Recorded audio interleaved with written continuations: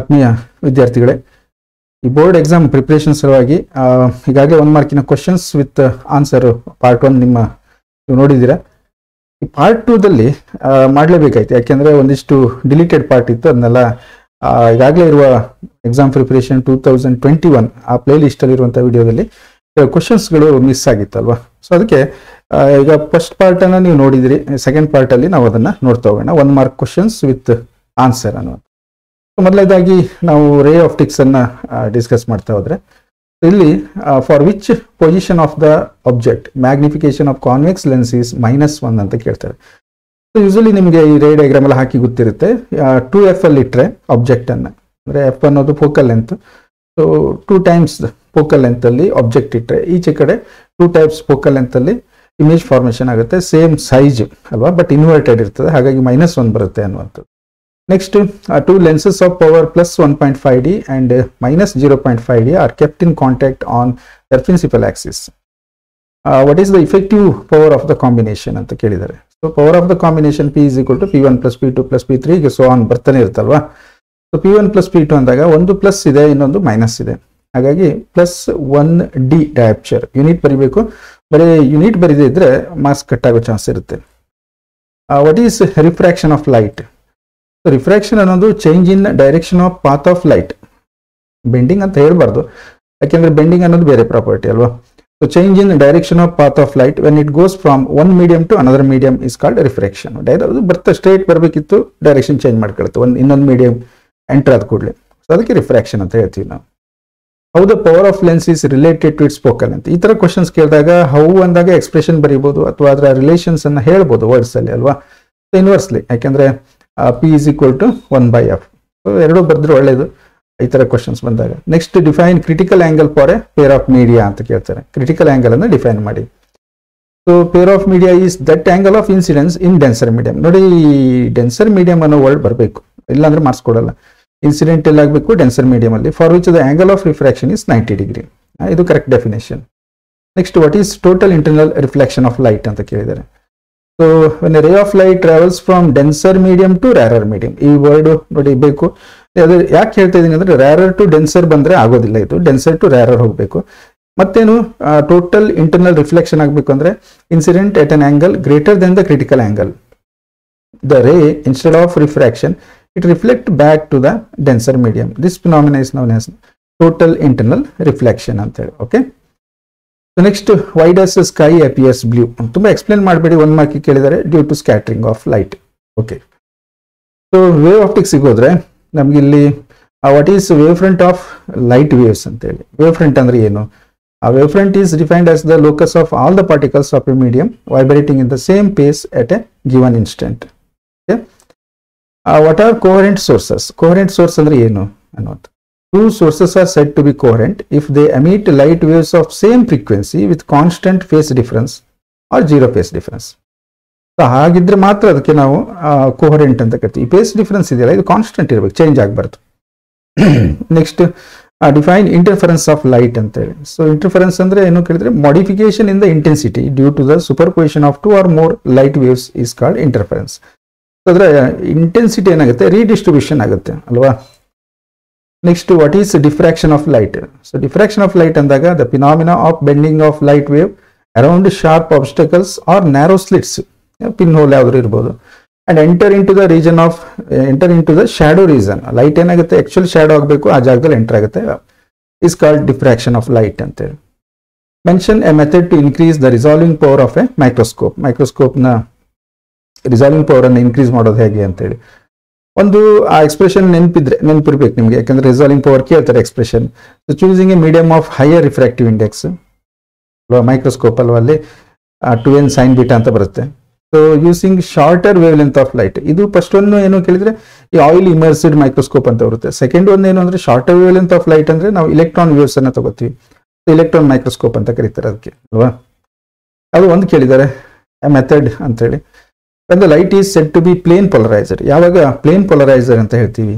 If the vibration of a wave are present in only one direction in a plane perpendicular to the direction of propagation of wave is set to be plane polariser light ಅಂದ್ರೆ restriction ಆಗಬೇಕು vibration ಏನಾಗಬೇಕು, ಒಂದು ಪ್ಲೇನಲ್ಲಿ restrict ಆಗಿರಬೇಕು ಅವಾಗ ನಾವೇನಂತೀವಿ ಅದಕ್ಕೆ plane polarised light ಅಂತ ಕರಿತೀವಿ. For which angle of incidence reflected light is completely polarised ನೋಡಿ, ಇದು ಬ್ರಿಸ್ಟರ್ಸ್ ಲಾ ಮೇಲೆ ಬರುವಂಥದ್ದು. ಸೊ ಆ, ಒಂದು ಆಂಗಲ್ ಅನ್ನು ಅವರು ಡಿಫೈನ್ ಮಾಡ್ತಾರೆ. ಆ ಆ್ಯಂಗಲಲ್ಲಿ ಇನ್ಸಿಡೆಂಟ್ ಆದರೆ ರಿಫ್ಲೆಕ್ಟೆಡ್ ಮತ್ತು ರಿಫ್ರಾಕ್ಟೆಡ್ ನೈಂಟಿ ಡಿಗ್ರಿ ಇರುತ್ತೆ. ಸೊ ಆ ಒಂದು ಆ್ಯಂಗಲ್ ಆಫ್ ಇನ್ಸಿಡೆನ್ಸ್ ಅಲ್ಲಿ ಈ ರಿಫ್ರಾಕ್ಟೆಡ್ ಲೈಟ್ ಏನಿದೆ ಪೊಲರೈಸ್ ಆಗಿರುತ್ತೆ ರಿಫ್ಲೆಕ್ಟೆಡ್ ಕಂಪ್ಲೀಟ್ಲಿ ಪೊಲರೈಸ್ ಆಗಿರುತ್ತೆ ಅನ್ನುವಂಥದ್ದು. Angle of incidence is equal to Brewster's angle ಇದಕ್ಕೆ answer give the representation of plane polarised light ಇದನ್ನು ಕೇಳ್ತಾರೆ, ಅಂದರೆ ಪ್ಲೇನ್ ಪೊಲರೈಸ್ಡ್ ಲೈಟ್ ಅನ್ನ ಮತ್ತೆ ಆರ್ಡಿನರಿ ಲೈಟ್ ಅಂತ ಇರುತ್ತೆ. ಪ್ಲೇನ್ ಪೊಲರೈಸ್ಡ್ ಲೈಟ್ ಅನ್ನ ರಿಪ್ರೆಸೆಂಟ್ ಮಾಡಿ ಅಂದ್ರೆ ಈ ತರ ಮಾಡಬೇಕು. ನೋಡಿ ವೈಬ್ರೇಷನ್ ಈ ರೀತಿ ಮಾತ್ರ ಇದೆ ಇದು. ಈ ಪ್ಲೇನ್ ಅಲ್ಲಿ ಮಾತ್ರ ಇದೆ. ಅಥವಾ ಈ ರೀತಿ ರಿಪ್ರೆಸೆಂಟ್ ಮಾಡ್ಬೋದು. ಇದು ಹೀಗೆ perpendicular to the screen perpendicular ಆಗಿರುವಂಥದ್ದು. Next what is Brewster's angle Brewster's angle ಅಂದ್ರೆ ಏನಂತ ಹೇಳಬೇಕು. Is the angle of incidence at interface for which reflected and refracted waves are perpendicular reflect ಮತ್ತು ರಿಫ್ಲೆಕ್ಟ್ ಪರ್ಪೆಂಡಿಕ್ಯುಲರ್ ಇದ್ರೆ, ಆ ಆಂಗಲ್ ಆಫ್ ಇನ್ಸಿಡೆನ್ಸ್ ಇದೆಯಲ್ಲ, ಒಂದು interface ಅಲ್ಲಿ, ಅಂದ್ರೆ ಒಂದು ರ್ಯಾರರ್ ಇನ್ನೊಂದು ಡೆನ್ಸರ್ ಅಂತೀವಲ್ಲ ನಾವು, ಆ ಆಂಗಲ್ ಅನ್ನ ಬ್ರಿಫ್ಟರ್ ಆಂಗಲ್ ಅಂತ ಕರೀತಾರೆ. Write the formula for Malus law ಈ ಮಾಲುಸ್ಲಾದಲ್ಲಿ ಇಂಟೆನ್ಸಿಟಿ ಆಫ್ಟರ್ ಪೊಲರೈಸ್ ಇದೆಯಲ್ಲ so I is equal to I naught cos square square theta ಅಂತ ಹೇಳಿ. ಈ ಎಕ್ಸ್ಪ್ರೆಷನ್ ಬರೆದ್ರೆ ಆಯ್ತು. Next how can resolving power of telescope can be increase by increasing diameter of the objective lens ಇದೊಂದೇ option ಇರೋದಿಲ್ಲ. Objective ಇರ್ತಲ್ಲ ಅದರ ಡಯಾಮೀಟರ್ನ ನೀವು ದೊಡ್ಡ ಮಾಡಿದ ಹಾಗೆ ರಿಸಾಲ್ವಿಂಗ್ ಪವರ್ ಜಾಸ್ತಿ ಆಗುತ್ತೆ ಅಂತ ಹೇಳಿ. Okay next dual nature of radiation and ಮ್ಯಾಟರಿಗೆ ಹೋದರೆ, ಇಲ್ಲಿ mention one type of electron emission ಇದು ಒಂದು ಮಾರ್ಕಿಗೆ ಕೇಳಿದ್ರೆ ಒಂದು ಬರೆದ್ರೆ ಸಾಕು ನೀವು. ಇದನ್ನೇ ತ್ರೀ ಮಾರ್ಕ್ಸಿಗೂ ಕೇಳ್ತಾರೆ. ಸೊ ಹಾಗಾಗಿ ಥರ್ಮಾಯನಿಕ್ ಎಮಿಷನ್ ಅನ್ನೋದು ಒಂದು ಹೌದು, ಇನ್ನು ಫೀಲ್ಡ್ ಎಮಿಷನ್ ಅಥವಾ ಫೋಟೋ ಎಲೆಕ್ಟ್ರಿಕ್ ಎಮಿಷನ್ ಒಂದು ಕರೆಕ್ಟಾಗಿ ಬರೆದ್ರೆ ಸಾಕು. Define work function of a metal ಮೆಟಲ್ನ work function define ಮಾಡಿ ಅಂತ ಹೇಳ್ತಾರೆ. ಸೊ ಇದು ಎನರ್ಜಿ ಅಲ್ವಾ? The minimum energy required by an electron to escape from the metal surface is called work function of the metal ಅಂದರೆ ಎಷ್ಟು minimum ಅದಕ್ಕೂ ನಂತರದ energy ಏನಾಗುತ್ತೆ? ಕೈನೆಟಿಕ್ ಎನರ್ಜಿಯಾಗಿ ಕನ್ವರ್ಟ್ ಆಗುತ್ತೆ. Define threshold frequency in photoelectric effect threshold frequency ಕೇಳ್ಬೋದು threshold wave ಅಂತ ಕೇಳ್ಬೋದು. ಇದೊಂದು ಡೆಫಿನೇಷನ್ ನೆನಪಿದ್ರೆ ಎರಡಕ್ಕೂ ಆನ್ಸರ್ ಮಾಡ್ಬೋದು. ಇಲ್ಲಿ ಏನು ಹೇಳಬೇಕು? The minimum frequency of incident light required to emit electrons from metal surface is known as threshold frequency ಅದು ವೇವ್ ಲೆಂತ್ ಕೇಳಿದ್ರೆ ಏನು ಹೇಳಬೇಕು? Maximum wavelength of incident light ಅಂತ ಹೇಳಬೇಕು. ಓಕೆ ಮ್ಯಾಕ್ಸಿಮಮ್ ವೇವ್ ಲೆಂತ್ ಅನ್ನೋದು ಥ್ರಿಶೋಲ್ಡ್ ವೇವ್ ಲೆಂತ್ ಬಂದಾಗ ಆ ರೀತಿ ಹೇಳಬೇಕು. ಫ್ರೀಕ್ವೆನ್ಸಿ ಹೇಳುವಾಗ ಮಿನಿಮಮ್ ಫ್ರೀಕ್ವೆನ್ಸಿ ಅಂತ ಹೇಳಬೇಕು. Okay what is the nature of graph in variation of photoelectric current with intensity of light nature of graph ಹೇಗಿರುತ್ತೆ ಅಂತ ಕೇಳಿದ್ದಾರೆ. ಡ್ರಾ ಮಾಡಿ ಅಂತ ಹೇಳಲಿಲ್ಲ. Plot the graph nature of graph ಅಂತ ಕೇಳಲಿಲ್ಲ. ಇದು ಸ್ಟ್ರೇಟ್ ಲೈನ್ ಇರುತ್ತೆ, ಅಲ್ವಾ? ಯಾವುದಕ್ಕೆ? Photoelectric current with intensity directly proportional ಅಲ್ವಾ? ಹಾಗಾಗಿ ಸ್ಟ್ರೇಟ್ ಲೈನ್ ಇರುತ್ತೆ. Right Einstein's photo electric equation ಇದು ಒಂದು ಮಾರ್ಕ್ಸಿಗೆ ಬೆಳೆದ್ರೆ ಇಷ್ಟೇ ಇಕ್ವೇಷನ್ ಬರೆದ್ರೆ ಸಾಕು. ಎಕ್ಸ್ಪ್ಲೇನ್ ಅಂತ ಕೇಳ್ತಾರೆ ಟೂ ಮಾರ್ಕ್ಸಿಗೆ ಆದರೆ ಎಕ್ಸ್ಪ್ಲೇನ್ ದ ಟರ್ಮ್ಸ್ ಅಂತೇಳಿ ಅವಾಗ ಉಳಿದ ಟರ್ಮ್ಸ್ ಎಲ್ಲ ಎಕ್ಸ್ಪ್ಲೇನ್ ಮಾಡಬೇಕು. Who proved the validity of Einstein's photoelectric equation ಯಾರು? ಮಿಲಿಕಾನ್ ಆ್ಯಕ್ಚುಲಿ ಡಿಸ್ಪ್ರೂವ್ ಮಾಡೋಕೆ ಹೋಗಿರುವಂಥದ್ದು ಅದನ್ನು ಪ್ರೂವ್ ಮಾಡ್ತಾರೆ. ಐನ್ಸ್ಟೈನ್ಸ್ ಫೋಟೋ ಎಲೆಕ್ಟ್ರಿಕ್ ಸರಿ ಇದೆ ಅಂತೇಳಿ, ಅಲ್ವಾ? Write the expression for de Broglie wavelength associated with particle particle associated wavelength ಅನ್ನು ಬರೀಬೇಕು. Lambda is equal to h by p p ಅನ್ನೋದು momentum linear momentum m into v v ಅನ್ನೋದು speed ಅಥವಾ velocity of the particle ಇಲ್ಲಿ C ಬರೆದ್ರೆ ತಪ್ಪಾಗುತ್ತೆ marks ಹೊರಟೋಗುತ್ತೆ. C ಅನ್ನೋದು ಸ್ಪೀಡ್ ಆಫ್ ದ ಲೈಟ್ ಆಗುತ್ತೆ. ಬಟ್ ಇಲ್ಲಿ ಪಾರ್ಟಿಕಲ್ಗೆ ಕೇಳಿರೋದ್ರಿಂದ h divide by m into v define stopping potential in photoelectric effect stopping potential ಅಂದ್ರೆ ಏನು ಅಂತ ಹೇಳ್ಬೇಕು ನೀವು. So the minimum negative potential applied to anode ಅಲ್ವಾ? Negative potential applied to anode for which photoelectric current is zero is called cut off ಅದಕ್ಕೆ cut off potential ಅಂತಲೂ ಹೇಳ್ತಾರೆ. Stopping potential ಅಂದರೆ ಆ ಪೊಟೆನ್ಷಿಯಲ್ ಡಿಫ್ರೆನ್ಸ್ ಏನು ಮಾಡುತ್ತೆ? ಆ charge q into delta v ಅಂತೀವಲ್ಲ. So that is equals to kinetic energy of the emitted electron equal ಆಗುತ್ತೆ. ಸೊ ಯಾವ ಒಂದು ಇಲೆಕ್ಟ್ರಾನು ಕೂಡ ರೀಚ್ ಆಗಲ್ಲ. ಫೋಟೋ ಕರೆಂಟ್ ಸೀಜಸ್ ಅಥವಾ ಜೀರೋ ಆಗುತ್ತೆ. What is the conclusion of Davisson Germer experiment on the nature of electron ಅಂತೇಳಿ? So ಲಾಸ್ಟಿಗೆ ಅದು ಲಾಸ್ಟ್ ಇಯರ್ ಇದು ಡಿಲೀಟೆಡ್ ಪಾರ್ಟ್ ಆಗಿತ್ತಲ್ವಾ? ಸೊ ಡೆವಿಸನ್ ಜರ್ಮರ್ ಎಕ್ಸ್ಪೆರಿಮೆಂಟ್ ಏನು ಒಂದು ಕನ್ಕ್ಲೂಷನ್ ಕೊಡುತ್ತೆ ಅಂತೇಳಿ? ವೇವ್ ನೇಚರ್ ಆಫ್ ಇಲೆಕ್ಟ್ರಾನ್ ಆ ಎಕ್ಸ್ಪೆರಿಮೆಂಟ್ ಅಲ್ಲಿ ಇಲೆಕ್ಟ್ರಾನ್ ತಗೊಂಡು ಮಾಡಿದ್ದಾರೆ. ಮುಂದೆ ಎಕ್ಸ್ಪೆರಿಮೆಂಟ್ಗಳು ಬೇರೆ ಬೇರೆ ಇಲಿಯಂ ನ್ಯೂಕ್ಲಿಯಸ್ ತಗೊಂಡು ಮಾಡಿದ್ದಾರೆ. ಬಟ್ ನಮ್ಮ ಟೆಕ್ಸ್ಟಲ್ಲಿ ಇದ್ದಿದ್ದು ಅಷ್ಟೇ, ಅದ್ರ ಮೇಲೆ ಕ್ವಶನ್ ಕೇಳಿದ್ದಾರೆ, ಅಲ್ವಾ? ಓಕೆ ನೆಕ್ಸ್ಟ್ ಆಟಮ್ಸ್ಗೆ ಬಂದಾಗ, ಈ ಆಟಮ್ಸ್ ಅಲ್ಲಿ ಏನು ಹೇಳ್ತಾರೆ? Write the expression for energy of a electron in electron orbit of hydrogen atom. Energy expression ಬರೀರಿ ಅಂತ ಕೇಳಿದ್ದಾರೆ. ಸೊ, ನೆನ್ಪಿಟ್ಕೋಬೋದು, ಇದೊಂದು ಡೆರಿವೇಶನ್ ಅಲ್ವಾ? E n is equal to minus m e s to four divide by a n square epsilon naught square s square ಇದು total energy ಮಕ್ಕಳೇ ಇದು ನೆನಪು ಇರಲ್ಲ ಅಂದರೆ ಇನ್ನೊಂದು ಸುಲಭದ ಏನಿರುತ್ತೆ ಅಂದರೆ minus thirteen point six divide by n square but ಇದು ಇಲೆಕ್ಟ್ರಾನ್ ವೋಲ್ಟಲ್ಲಿ ಇರುತ್ತೆ. ಕರೆಕ್ಟಾ ಸೊ ಬರಿಬೋದು. ಇದಕ್ಕೂ ಮಾರ್ಕ್ಸ್ ಕೊಡಲೇಬೇಕು. ಯಾಕೆಂದರೆ ಇದು energy ಎಕ್ಸ್ಪ್ರೆಷನ್ನೇ next name the spectral series of hydrogen atom which lies in the ultraviolet region of electromagnetic spectrum ultraviolet region of electromagnetic spectrum ಅಲ್ಲಿ ಬರುವಂಥದ್ದು ಯಾವುದು? ಕ್ಲೈಮನ್ ಸೀರೀಸ್ ಅಲ್ವಾ? Name the spectral series of hydrogen atom which lies in the visible region ಇದು ನೆನಪಿರುತ್ತೆ ನಿಮಗೆ Balmer series next define impact parameter impact parameter define ಮಾಡಿ ಅಂತ ಕೇಳಿದ್ರೆ ಏನು ಹೇಳಬೇಕು? The perpendicular distance of the initial velocity vector of the incident alpha particles from the centre of the nucleus an alpha particles is not deflected is known as impact parameter textbook ತುಂಬ clean ಆಗಿ ಕೊಟ್ಟಿದ್ದಾರೆ ಇದನ್ನ. Write the expression for Bohr's radius ಅಲ್ವಾ? Bohr's ರೇಡಿಯಸ್ನ expression A naught ಅಂತಾನೆ ಕೊಟ್ಟಿದ್ದಾರೆ text book ಅಲ್ಲಿ ಇದಕ್ಕೆ ಬೋರ್ ರೇಡಿಯಸ್ ಅಂತ ಹೇಳ್ತಾರೆ. H square epsilon naught divide by pi m e square ಇದೆಲ್ಲ ವ್ಯಾಲ್ಯೂಸ್ ಕಾನ್ಸ್ಟೆಂಟ್ ಸಬ್ಸ್ಟಿಟ್ಯೂಟ್ ಮಾಡಿದ್ರು ವ್ಯಾಲ್ಯೂ ಬರುತ್ತೆ. ಬಟ್ ಈ ಎಕ್ಸ್ಪ್ರೆಷನ್ ಕೇಳಿದ್ದಾರೆ, ಇದನ್ನು ಬರೀಬೇಕು.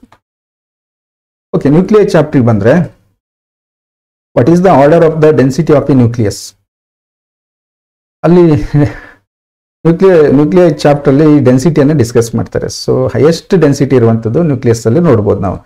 ಹಾಗಾಗಿ ಟೆನ್ ಟು ಸೆವೆಂಟೀನ್ ಆರ್ಡ್ರಲ್ಲಿ ಇರುತ್ತೆ ಇದು k g per metre cube okay compute the neutron ratio of two nuclei seven N fourteen and eleven N A twenty two ನೋಡಿ ಭಾಳ ಈಸಿ ಇದೆ. ಸೆವೆನ್ ಪ್ರೋಟಾನು ಅದಕ್ಕೆ ಫೋರ್ಟೀನ್ ಆಗಬೇಕು ಅಂದರೆ ಸೆವೆನ್ ನ್ಯೂಟ್ರಾನ್ ಸೇರಿರುತ್ತೆ. ಇಲ್ಲೂ ಕೂಡ ಲೆವೆನ್ಗೆ ಲೆವೆನ್ ಸೇರಿದರೆ ಟ್ವೆಂಟಿ ಟು ಆಗುತ್ತೆ. ಸೊ ಹಾಗಾಗಿ seven in N and eleven in N A ಅಂತೇಳಿ. ಸೋಡಿಯಂ ಅಲ್ಲಿ ಲೆವೆನ್ ಇರುತ್ತೆ. ನೆಕ್ಸ್ಟ್ ಸೆವೆನ್ ಇಷ್ಟು ಲೆವೆನ್ ಅನ್ನೋದು ಇದಕ್ಕೆ answer what are isotopes isotopes ಅಂದ್ರೆ ಏನು ಅಂತೇಳಿ? Nuclei having same atomic number but different mass number are called isotopes isotopes ಅಂದ್ರೆ ನೆನ್ಪಿಟ್ಕೊಳ್ಳಿ. ಸೇಮ್ ಐಸೋ ಅಂದ್ರೆ ಟೋಪ್ ಅಂದ್ರೆ ಪ್ಲೇಸ್ ಅಂತೇಳಿ, ಅದೇ ಜಾಗ. ಅದೇ ಜಾಗದಲ್ಲಿ ಇರುತ್ತೆ. ಅಂದ್ರೆ ಅರ್ಥ ಅಟಾಮಿಕ್ ನಂಬರ್ ಸೇಮ್ ಇರಬೇಕು ಬಟ್ ಮಾಸ್ ನಂಬರ್ ಬೇರೆ ಬೇರೆ ಇರುತ್ತೆ. ಅದಕ್ಕೆ ಐಸೋಟೋಪ್ಸ್ ಅಂತ ಕರೀತಾರೆ. Next define nuclear binding energy binding energy ಅಂದ್ರೆ ಏನು ಅಂತ ಕೇಳ್ಬೋದು? ಇಲ್ಲ ಮಾಸ್ ಡಿಫೆಕ್ಟ್ ಅಂದ್ರೆ ಕೇಳ್ಬೋದು.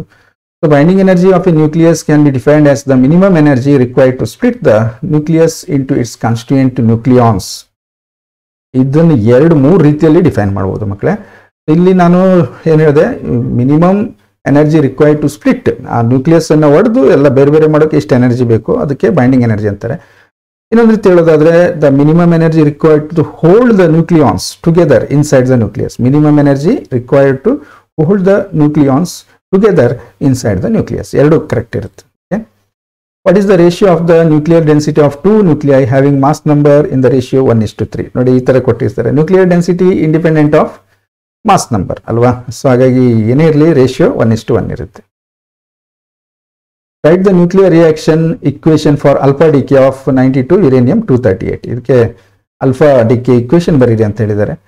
ಇಲ್ಲಿ ಏನಾಗುತ್ತೆ? ಅಲ್ಫಾ ಪಾರ್ಟಿಕಲ್ ಅನ್ನೋದು ಹೀಲಿಯಂ ನ್ಯೂಕ್ಲಿಯಸ್ ಹೀಲಿಯಂ ನ್ಯೂಕ್ಲಿಯಸ್ ಅಲ್ವಾ? Two H E four electron ಇರಲ್ಲ ಇದರಲ್ಲಿ. ಇದು ಅಲ್ಫಾ ಪಾರ್ಟಿಕಲ್ ಸೊ ಇಲ್ಲಿ ನೋಡಿದ್ರೆ ನೈಂಟಿ ಟೂದಲ್ಲಿ ಟೂ ಲೆಸ್ ಆಗುತ್ತೆ. ಟೂ ತರ್ಟಿ ಏಟ್ ಅಲ್ಲಿ ಫೋರ್ ಲೆಸ್ ಆಗುತ್ತೆ. ಟೂ ಎಚ್ ಇ ಫೋರ್ ಅನ್ನೋದು alpha particle okay next write the relation between half life and mean life of radioactive element T half is equal to zero point six nine three tau ಅಂತೇಳಿ. Fusion reaction require very high temperature why ಅಂತೇಳಿ. Fusion normally ನಾವು ನಮ್ಮ ಅರ್ಥದಲ್ಲಿ ಅದನ್ನು ಮಾಡ್ಲಿಕ್ಕೆ ಆಗ್ತಾ ಇಲ್ಲ. But ಕಾರಣ ಏನು ಅಂದರೆ ಹೈ ಟೆಂಪ್ರೇಚರ್ ಬೇಕು. ಈ ಹೈ ಟೆಂಪ್ರೇಚರ್ ಯಾಕೆ ಬೇಕು ಅಂತೇಳಿ. So because to overcome the Coulomb's repulsive force ಅಂತೇಳಿ. ಕೂಲಮ್ಸ್ ರಿಫಲ್ಸಿವ್ ಫೋರ್ಸ್ ಜಾಸ್ತಿ ಇರುತ್ತೆ ಅವೆಲ್ಲ ಒಟ್ಟಿಗೆ ಸೇರ್ಸೋಕ್ಕಾಗಲ್ಲ. ಟೆಂಪ್ರೇಚರ್ ಜಾಸ್ತಿ ಮಾಡಿದಾಗ ಅದರ ಕೈನೆಟಿಕ್ ಎನರ್ಜಿ ಜಾಸ್ತಿ ಆಗುತ್ತೆ. ಪಾರ್ಟಿಕಲ್ಸ್ದು ಸೊ ಹಾಗಾಗಿ ಫ್ಯೂಷನ್ ಆಗುತ್ತೆ. Write the S I unit of activity ಇಲ್ಲಿ ತುಂಬಾ ತಪ್ಪು ಮಾಡ್ತೀರಿ ನೀವು. S I unit of activity radioactivity ಅನ್ನು ಕೂಡಲೇ ಏನು ಮಾಡ್ತೀರಿ? ಕ್ಯೂರಿ ಹೆಸರು ನೆನಪಾಗುತ್ತೆ ಬಟ್ ಅದಲ್ಲ becquerel next state the radioactive decay law decay law ಅನ್ನೋ ಸ್ಟೇಟ್ಮೆಂಟ್ ಬೇಕೇ ಬೇಕು ನಿಮಗೆ. ಫೈವ್ ಮಾರ್ಕ್ಸಿನ ಡೆರಿವೇಶನ್ ಕೇಳಿದಾಗಲೂ ಅಲ್ಲಿ ಇದನ್ನು ಕೇಳಿರ್ತಾರೆ. So the rate of radioactive disintegration or decay ಹಾಗೂ ಇದ್ರ ಬದಲು ಈ ವರ್ಡನ್ನು ಯೂಸ್ ಮಾಡ್ಬೋದು ಡಿಕೆ ಅಂತೇಳಿ. Is directly proportional to the number of nuclei present in a sample at that instant of time ಆ ಒಂದು ಟೈಮಲ್ಲಿ ಎಷ್ಟು ನ್ಯೂಕ್ಲಿಯೈ ಅದರಲ್ಲಿ ಇತ್ತು ಅನ್ನೋದ್ರ ಮೇಲೆ ಡಿಪೆಂಡ್ ಆಗಿರುತ್ತೆ ಅಂತೇಳಿ. ಓಕೆ ಈ ಸೆಮಿಕಂಡಕ್ಟರ್ ಎಲೆಕ್ಟ್ರಾನಿಕ್ಸ್ಗೆ ಬಂದ್ರೆ draw the logic symbol of NOR gate ಈ ಕಂಪ್ಯೂಟರ್ ಸೈನ್ಸ್ ಮಕ್ಕಳಿಗೆ ಈ ಥರ ಕ್ವಶನ್ಸ್ಗಳು ತುಂಬ ಈಸಿ ಆಗ್ತವೆ. ನಿಮಗೂ ಏನು ಕಷ್ಟದ್ದಲ್ಲ ಇದು? ನಾರ್ ಗೇಟ್ ಅನ್ನ ಡ್ರಾ ಮಾಡಿ ಅಂತಾರೆ. ನಾರ್ ಅನ್ನೋದು ಆರ್ಗೆ ನಾಟನ್ನು ಕನೆಕ್ಟ್ ಮಾಡಿದಾಗಲ್ವಾ? ಸೊ ಈ ನಾಟ್ ಅನ್ನೋದು ಇಲ್ಲಿರುತ್ತೆ. ಇದು ಆರ್ ಗೇಟ್ ನಾರ್ ಗೇಟ್ ಆಯ್ತು. Next which compound semiconductor is used for making L E Ds of different colours ನೋಡಿ, ಈ ತರ ಕೇಳ್ತಾರೆ. ಡಿಫ್ರೆಂಟ್ ಕಲರ್ಸ್ ಬೇಕು ಅಂದ್ರೆ ನೀವೇನು ಯೂಸ್ ಮಾಡ್ತೀರಿ ಅಂತೇಳಿ. ಗೇಲಿಯಂ ಅರ್ಸನೈಡ್ ಅನ್ನುವಂಥದ್ದು. ಗೇಲಿಯಂ ಅರ್ಸನೈಡ್ ಫಾಸ್ಫೈಡ್ ಅಂತೇಳಿ. ಇದನ್ನು ಯೂಸ್ ಮಾಡ್ತಾರೆ ಅಂತ. ಐಡೆಂಟಿಫೈ ದ ಲಾಜಿಕ್ ಗೇಟ್ ಇಲ್ಲಿ ಏನಾಗಿದೆ ಇದು? ಆರ್ಗೆ ನಾಟ್ ಇದೆ. ನಾರ್ ಗೇಟ್ ಆಯಿತು. ನಾರ್ಗೆ ಮತ್ತೆ ನಾಟ್ ಮಾಡಿದ್ರೆ ಏನಾಗುತ್ತೆ? Will get the OR gate write the truth table for NOR gate ಇವೆಲ್ಲ ಈಸಿ ಕ್ವೆಶನ್ಸ್ಗಳು ಟೇಬಲ್ ಅನ್ನ ನಾರ್ ಗೇಟ್ ಅಂದ್ರೆ ಆರಿನ ಅಪೋಸಿಟ್ ಇರುತ್ತೆ. ಸೊ ಇಲ್ಲಿ ಮಾತ್ರ ಒಂದ್ ಬರುತ್ತೆ, ಉಳಿದೆಲ್ಲ ಜೀರೋ ಇರುತ್ತೆ. ಆರ್ ಗೇಟ್ ಅಲ್ಲಿ ಏನಾಗಿರುತ್ತೆ? ಇಲ್ಲಿ ಮಾತ್ರ ಜೀರೋ ಇರುತ್ತೆ, ಉಳಿದೆಲ್ಲ ಒನ್ ಬರುತ್ತೆ. What is the depletion region in a semiconductor diode ಅಂತೇಳಿ. The space charge region on either side of the P N junction having no mobile charge carrier is known as depletion region ಗೊತ್ತಾಯ್ತಲ್ವ ಇದು? What is output of this combination ಒಂದು ಕೊಟ್ಟಿದ್ದಾರೆ. ಇದರ output ಎಷ್ಟು? ಈ ರೀತಿ one zero one zero ಕೊಟ್ಟಿದ್ದಾರೆ. ಇದು and gate ಇದು ನಾರ್ ಗೇಟ್ ಆಯಿತಾ? ಆ್ಯಂಡ್ ಗೇಟಲ್ಲಿ ಏನಾಗುತ್ತೆ? ಎ ಡಾಟ್ ಬಿ ಅಲ್ವಾ ಆ್ಯಂಡ್ ಗೇಟಲ್ಲಿ ಸೊ ಒನ್ ಇಂಟು ಜೀರೋ ಇದು ಜೀರೋ ಬರುತ್ತೆ ಇಲ್ಲಿ. ಈ ಗೇಟಿಂದ ಹೊರಗಡೆ ಬರುವಾಗ ಜೀರೋ ಆಗುತ್ತೆ. ಈ ಗೇಟಲ್ಲಿ ಒನ್ ಜೀರೋ ಕೊಟ್ಟರೆ ಆರ್ ಆಗಿದ್ರೆ ಏನು ಮಾಡ್ತಾ ಇತ್ತು? ಒನ್ ಮಾಡ್ತಾ ಇತ್ತು. ಬಟ್ ಇದು ನಾರ್ ಹಾಗಾಗಿ ಏನಾಗುತ್ತೆ? ಇದು ಕೂಡ ಜೀರೋ ಆಗುತ್ತೆ. ಇದು ಯಾವ ಗೇಟ್ ಇದು ನ್ಯಾಂಡ್ ಗೇಟ್ ನ್ಯಾಂಡ್ ಗೇಟ್ ಆಗಿರೋದ್ರಿಂದ ಏನಾಯ್ತು? ಜೀರೋ ಜೀರೋ ಇದ್ರೆ ಆ್ಯಂಡ್ ಗೇಟ್ ಅಲ್ಲಿ ಜೀರೋ ಬರ್ತಾ ಇತ್ತು ಬಟ್ ಇದು ನಾಟ್ ಇದೆ ಅದ್ರ ಮುಂದೆ. ಸೊ ಹಾಗಾಗಿ ಔಟ್ಪುಟ್ ಒನ್ ಬರುತ್ತೆ. ಔಟ್ಪುಟ್ ಇಸ್ ಒನ್ ಅಂತೇಳಿ. Next write the truth table of NAND gate NAND gate truth table ಬರೀರಿ ಅಂತೇಳಿ. ಸೊ ಆ್ಯಂಡ್ ನೆನಪಿದೆ ಅಂದ್ರೆ ನ್ಯಾಂಡ್ ಈಸಿಯಾಗಿ ಬರಿಬೋದು. ನೋಡಿ, ಇಲ್ಲೆಲ್ಲ ಸಂದರ್ಭದಲ್ಲೂ ಹೈ ಅಥವಾ ಒನ್ ಬರುತ್ತೆ. ಲಾಸ್ಟ್ ಎರಡು ಇನ್ಪುಟ್ ಹೈ ಇದ್ದಾಗ ಔಟ್ಪುಟ್ ಲೋ ಇರುತ್ತೆ. Input of NAND gates are A equals to one B equals to zero what is the output ಎಷ್ಟು ಈಸಿ ಕೇಳ್ತಾರೆ ನೋಡಿ ಇದನ್ನ. ಇಲ್ಲೇ ಇದೆ ನ್ಯಾಂಡ್ ಗೇಟ್ ಇನ್ಪುಟ್ ಒನ್ ಇದೆ ಔಟ್ಪುಟ್ ಜೀರೋ ಇದೆ, ಏನು ಬರುತ್ತೆ? ಇದು ನ್ಯಾಂಡ್ ಗೇಟ್ ಆಗಿರೋದ್ರಿಂದ one ಬರುತ್ತಲ್ವಾ? Output is one write the circuit symbol of AND gate AND ಗೇಟಿನ ಸರ್ಕ್ಯೂಟ್ ಸಿಂಬಲ್ ಡ್ರಾ ಮಾಡಿ ಅಂತ ಕೇಳ್ತಾರೆ. So this is AND gate mention one application of light emitting diode L E D ಇದೆ ಒಂದು ಯೂಸನ್ನು ಹೇಳಿ ಅಂತ ಹೇಳಿದ್ದಾರೆ. So they are used as decorative lights they are used as lamps they are used as indicator they are used as display in TV so ಒಂದು ಬರೆದ್ರೆ ಸಾಕು write the truth table for OR gate OR ಗೇಟಿನ truth table ಅನ್ನ ಈ ರೀತಿ ಆಗುತ್ತೆ so ಇಲ್ಲಿಗೆ almost one ಮಾರ್ಕಿನ ಕ್ವಶನ್ಸ್ ಕವರ್ ಮಾಡಿದ್ದೀನಿ ಅನ್ಕೋತೀನಿ ಕೆಲವೆಲ್ಲ ಈಗ ನೋಡಿ ಇದರಲ್ಲಿ ಎಲಿಮೆಂಟಲ್ ಸೆಮಿ ಕಂಡಕ್ಟರ್ಗೆ ಒಂದು ಎಕ್ಸಾಂಪಲ್ ಕೊಡಿ ಅಂತಾರೆ ಎಲಿಮೆಂಟಲ್ ಸೆಮಿಕಂಡಕ್ಟರ್ ಅಂದ್ರೆ ಸಿಲಿಕಾನ್ ಮತ್ತು ಜರ್ಮೇನಿಯಂ ಇರುತ್ತೆ ಯಾವ್ದಾದ್ರು ಒಂದನ್ನ ನೀವು ಹೇಳಬೇಕಾಗುತ್ತೆ. ಸೊ ಕೆಲವು ಅಲ್ಲಲ್ಲಿ ಮಿಸ್ ಆಗುತ್ತೆ. ಆಮೇಲೆ ಪಾಠ ಮಾಡುವಾಗ ನೆನಪಾಗುತ್ತೆ. ಸೊ ನೆಕ್ಸ್ಟ್ ಕ್ಲಾಸಿಗೆ ಏನು ಮಾಡೋಣ ಕೇಳಿದ್ರೆ ಟೂ ಮಾರ್ಕ್ಸ್ ಈಗ ಆಲ್ರೆಡಿ ನಿಮ್ಮ ಹತ್ರ ಇದೆ. ಅದಕ್ಕೆ ಬೇಕಾದ್ರೆ ಕರೆಕ್ಷನ್ ಮಾಡೋಣ. ಬಟ್ ಫೈವ್ ಮಾರ್ಕ್ಸ್ ಬೇಕು ಅಂತ ಕೆಲವರು ಹೇಳಿದ್ರಿ ಮೊದಲೇ ನೋಡೋಣ ಏನು ಅಂತೇಳಿ. ನನ್ನ ಐಡಿಯಾ ಏನು ಕೇಳಿದ್ರೆ ನ್ಯೂಮರಿಕಲ್ ಪ್ರಾಬ್ಲಮ್ಸ್ ಅನ್ನ ಈ ಫಸ್ಟ್ ಇಯರ್ ಮಾಡಿದ್ನಲ್ಲ, ಹಾಗೆ ಚಾಪ್ಟರ್ ವೈಸ್ ಒಂದಿಷ್ಟು ಐಡಿಯಾ ಕೊಟ್ಟು ಎಲ್ಲರೂ ಮಾಡಬೇಕು ಅಂತೇಳಿ. ಯಾರು ಫಿಸಿಕ್ಸ್ ಅಲ್ಲಿ ಫೇಲ್ ಆಗಬಾರ್ದು. ಎಲ್ಲರೂ ಔಟ್ ಆಫ್ ಔಟ್ ತೆಗಿಬೇಕು, ಅಲ್ವಾ? ಓಕೆ ಇಲ್ಲಿಗೆ ಇದನ್ನ ಕಂಪ್ಲೀಟ್ ಮಾಡೋಣ. Thank you